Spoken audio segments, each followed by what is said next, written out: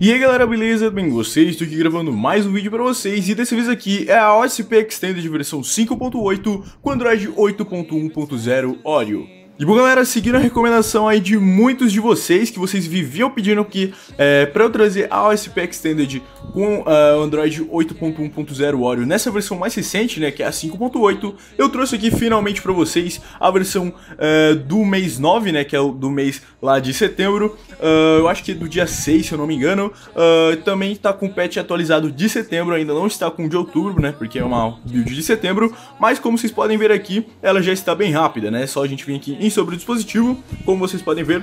Uh, uh, modelo Moto G3, versão do Android 8.1.0 Oreo, uh, versão da OSP Extended OSP Extended 5.8 oficial e também a gente tem aqui o nível do patch de segurança do Android, como eu falei, não é o mais recente de outubro, por enquanto ainda é o de 5 de setembro de 2018. Mas enfim, galera, do que, que ela mudou da 5.7 e 5.6, né? Que eu inclusive trouxe a 5.7 uma vez aqui pro canal.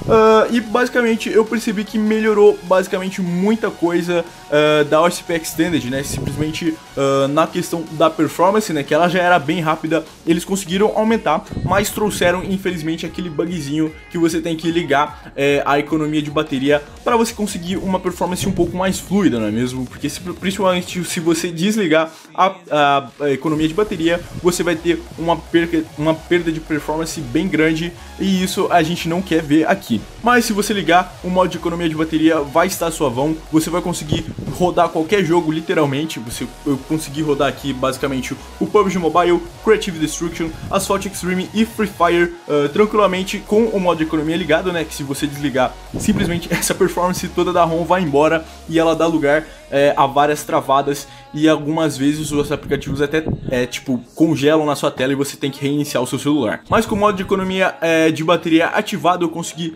uma performance aí digna do Moto G3 com Android Oreo, uh, simplesmente rodou basicamente todos esses jogos e também eu rodei aqui o Pokémon GO uh, com uh, para verificar né, se, o se o safety net estava ativado, uh, eu consegui jogar aí o Pokémon GO tranquilamente. E também, galera, caso vocês queiram ver um vídeo aí como ensinando, né, como rodar o Pokémon GO uh, com o Hot, eu mostro aí pra vocês futuramente, beleza? Bom, a performance dessa ROM no Antutu Benchmark não poderia ser diferente de muitas ROMs do Android Oreo, né? Como vocês podem ver aqui, ela fez por volta de uns 34 mil pontos, deixa eu só abrir aqui.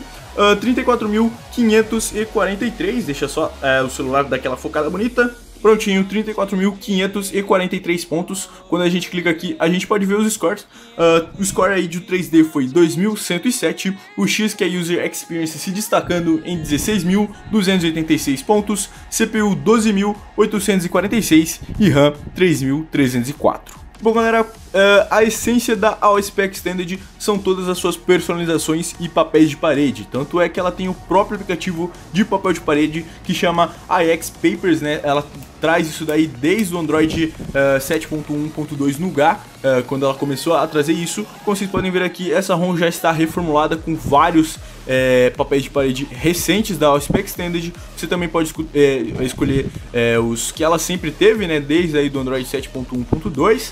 Uh, isso daqui são vários papéis de parede que não são tão recentes, mas uh, são muito bonitos. E também você pode selecionar a outra vista, né? Que você pode vir aqui do Colorful, uh, Custom Walls, Custom Works, Dark, Light, Material, Others, Poly, Sci-Fi, entre vários outros que você vai poder selecionar também, exclusivos da OSP Extended, que inclusive dão essa cara muito bonita para o seu celular. Bom, um launcher, vocês já sabem, é aquele padrão do Google Pixel 2 com algumas configurações da página inicial, como aqui a gente pode configurar algumas coisas na tela inicial, uh, a gente também pode vir aqui na gaveta de aplicações e você pode até ocultar aplicativos que você não queira que outras pessoas vejam, uh, ícones dos apps, você pode modificar aqui o que você quiser e também usar a forma escura e, e vindo aqui no diversos você tem algumas outras coisas para você configurar. Mas não é só na personalização do launcher em geral que essa ROM é boa, ela também tem as personalizações aqui uh, nas configurações. Quando a gente entra aqui e vem em extensões, personalize seu dispositivo, a gente pode encontrar várias personalizações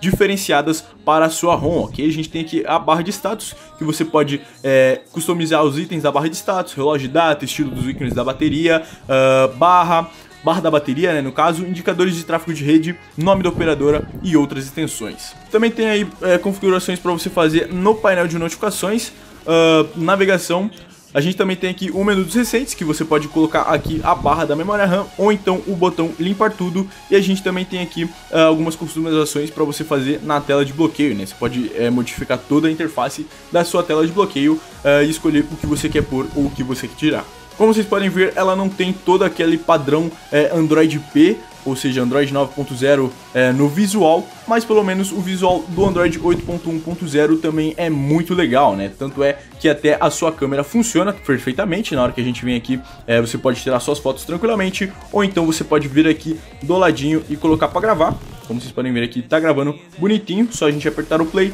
ele já começa a gravar tudo que a gente fez, depois é só você apertar aqui de novo, ele já vai salvar o vídeo aqui na sua galeria, é só você colocar aqui para dar play, deixa eu só reproduzir o vídeo, e vocês podem ver que tá gravando perfeitamente.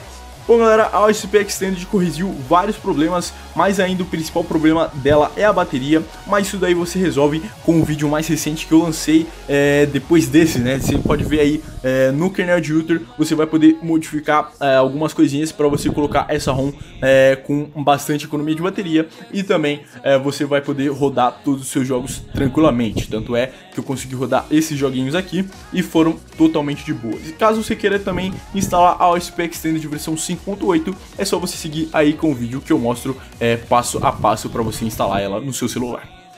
E prontinho galera, já estamos aqui com o arquivo da ROM OSP Extended versão 5.8 Osprey 2018 09 06 0543 official.zip e o tamanho dele é 339,67 MB.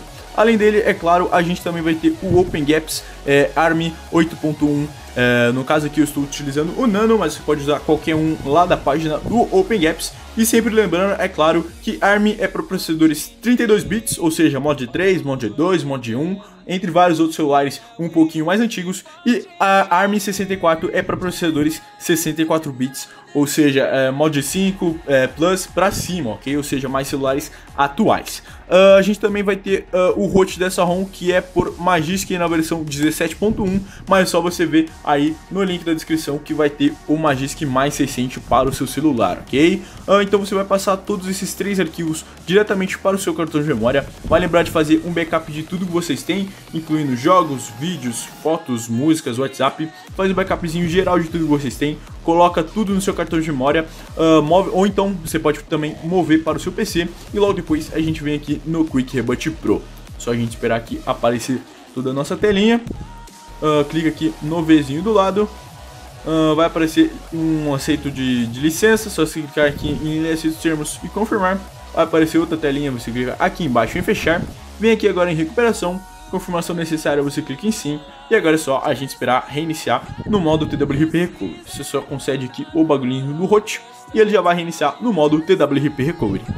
E prontinho galera, já estamos aqui no modo TWRP Recovery Team Win Recovery Project versão 3.2.3-0 Tudo que a gente tem que fazer agora apenas é clicar aqui em cima em Wipe, Advanced Wipe logo aqui embaixo Selecionar Dalvik, System, Data, Internal e Cache Você não seleciona microSD card nem USB UTG porque vão ser aonde seus arquivos vão estar E logo depois dá um swipe to wipe, ok? A gente só tem que limpar todas as partições é bem rapidinho Dependendo do seu celular, né? Pode ser mais rápido, pode ser mais demorado. Só a gente clicar agora no botão Home, vir aqui agora em Install, Up a Level, selecionar External SD e agora você desce até aonde está a sua ROM. Provavelmente vai ser um dos primeiros zips, né? Como assim foi o meu. Só a gente clicar aqui no ISP Extended, Add More Zips, para a gente já adicionar o OpenGaps ARM 8.1 Nano e também Add More Zips para a gente adicionar também o root por Magisk na versão 17.1. Só clicar nele, swipe to confirm flash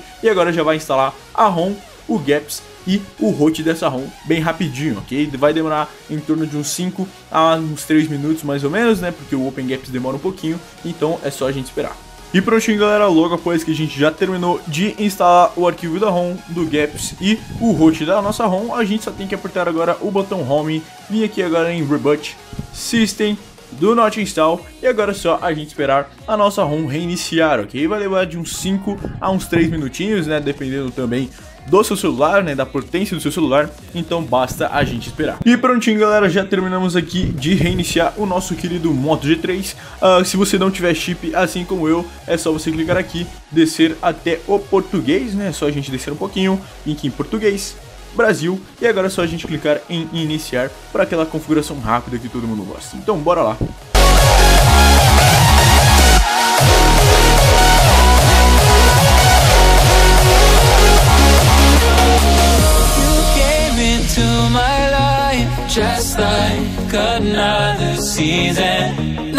E prontinho galera, terminamos aqui de reiniciar a nossa querida ROM Como eu falei, ele vem com diversos papéis de parede aqui é, especiais diretamente da OSP Extended, né? Ou então caso você queira selecionar qualquer outro, é só você vir aqui na OSP é, AS, é, AEX Papers e mudar para o papel de parede de, da sua escolha, né? Que você quiser é, diretamente da OSP Extended, ou então vir aqui planos de fundo e você vai poder selecionar tanto da galeria quanto dos planos de fundo do Google, ou então os planos de fundo interativo, ou então caso você queira chamar Live Wallpapers. Bom galera, essa daqui basicamente foi a OSP Extended Uh, na versão 5.8 com Android 8.1.0. Como eu falei, aqui a gente tem as extensões que você pode personalizar o dispositivo uh, da forma que você quiser. A gente também tem aqui o gerenciar acesso ao host, que ele vai gerenciar todo o nosso Magisk, tudo que você pode fazer com o host nessa ROM, uh, entre várias outras coisas que você vai poder ir descobrindo conforme o seu uso, ok? Uh, como eu falei, a bateria não é tão um ponto forte dela, mas ela vem com alguns aplicativos mais legaisinhos, como o Retro Music e também um navegador próprio diretamente da AOSP Extended. Caso você queira melhorar a bateria dessa ROM, é só você seguir o vídeo aí uh, de como dobrar a duração da sua bateria com kernel Adjutor, né, que inclusive eu deixei no cardzinho ali do lado e também no primeiro link da descrição. Então galera, é basicamente isso. Se você gostou, não esquece de deixar o seu gostei aí embaixo, se inscreve no canal aí embaixo também para mais vídeos como esse e vários outros. Comenta, compartilha, adicione esses vídeos favoritos, se, se inscreve no canal e também liga as notificações. E é nóis galera, valeu e falou, tchau!